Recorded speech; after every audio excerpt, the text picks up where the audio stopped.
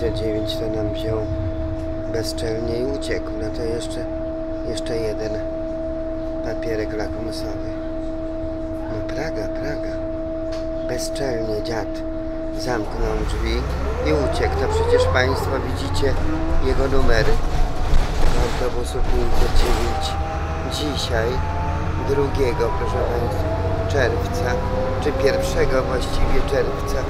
A tutaj w tym teatrze Hibnera bardzo piękne promocje książki. Będę chwaliła ten teatr, bo Galeria Mózg jest do niczego. No i jedziemy. Polski Wedel, Jeziorko. Czy my dogonimy ten 509? Być może.